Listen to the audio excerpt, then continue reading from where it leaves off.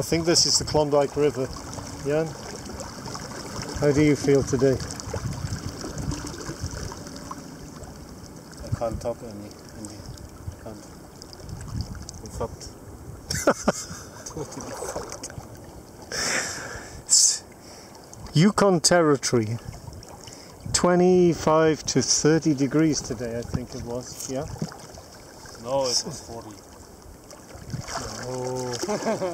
25 to 30 degrees. It Uh, was 40 in the sun. Believe me. it was hot.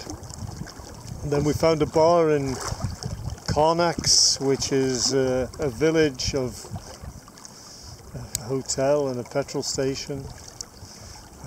And that was good. That was brilliant. And uh, this is the fast flowing, I think it's, is it the Yukon? It's the Yukon. Or another small river? Or maybe a side river of the Yukon. I think if you fell in that, you'd certainly drown, yeah? Ah, no, you you would be found down there. You, you'd be found in Alaska two months from now, frozen. three times the size and bright green. and we're camping up there. But the beer calls first. Cheers.